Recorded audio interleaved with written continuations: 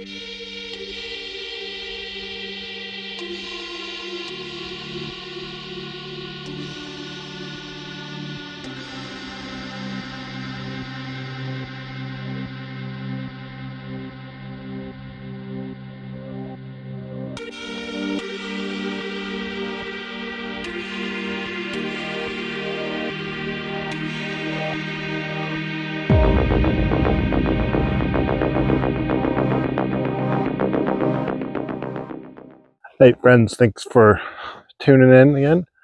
So today I'm going to be cleaning up the wood yard a little bit. I got to fix the drainage and push some of this old bark out of here and stuff and uh, clean up the pad. There's been a couple different tree service companies using this wood lot right here um, on my wood yard. They've been uh, working on the power lines. So we have a bunch of trees stacked up here from that project that PG&E's doing. Seems like it's never ending. But anyways, I'm going to clean up uh, their mess on the pad. Make sure the drainage is working really good this winter. And uh, I'm going to start cutting this up and do uh, firewood at some point. So this whole hill is like a spring and water floods throughout this whole piece right here. So I got to make sure there's a, at least somewhat of a trench along the mountain. And then there's a little trench all the way in the back there. I got to make sure I don't plug that up with stuff. So I don't have a root rake. So a lot of dirt's going to get mixed with the wood, but uh, it'll get the job done which is using the bucket. So that's what I'm going to do for now. All right, let's get into it.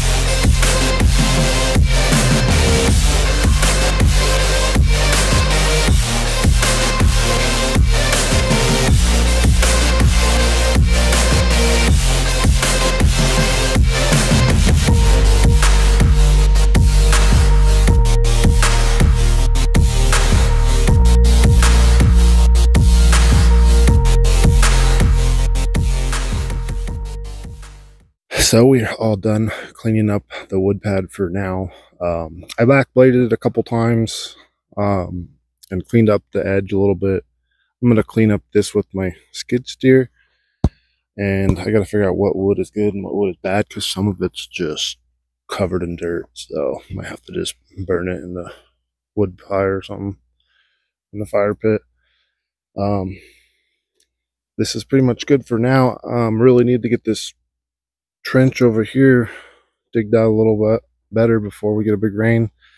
And then I'm to push this crack in a little better so the water doesn't get stuck in that hole. But I think we'll be fine for now for a couple weeks until I can get back out here. Thanks for tuning in. Really appreciate it.